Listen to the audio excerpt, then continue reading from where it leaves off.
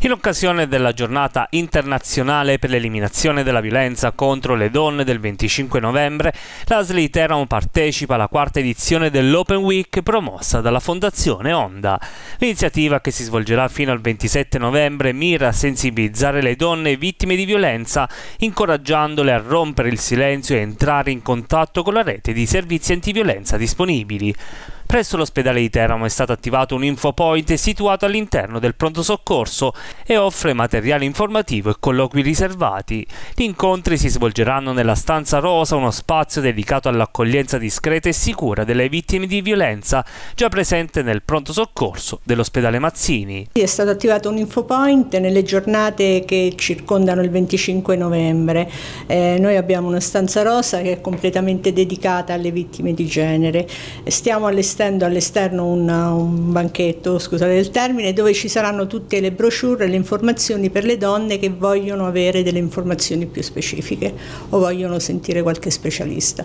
Questi servizi offrono supporto, accoglienza protetta, continuità assistenziale e strumenti concreti per chiedere aiuto. Sì, noi abbiamo un triage che è eh, deputato anche a individuare le situazioni di emergenza in codice rosa. Eh, L'infermiere ha un alert per cui avvisa passa il medico, l'infermiere all'interno di un ambulatorio e la donna viene accompagnata o la vittima minore direttamente in questa stanza rosa in modo che è un percorso dedicato e completamente isolato e con una grossa privacy. Negli ultimi anni i numeri sono cresciuti? Allora, I numeri seguono lo standard nazionale, noi abbiamo avuto nel, nell'anno 2023 codici rosa già individuati al, al triage 19 di questi 19, 4 sono minori, sia di, di età minore di 16 anni, sia di sesso maschile che femminile, associati poi a 59, quindi facendo il conto 14 più 59, quelli non dichiarati inizialmente ma poi individuati all'interno, stiamo intorno ai 70-74 codici rosa fino alla, alla data di ieri.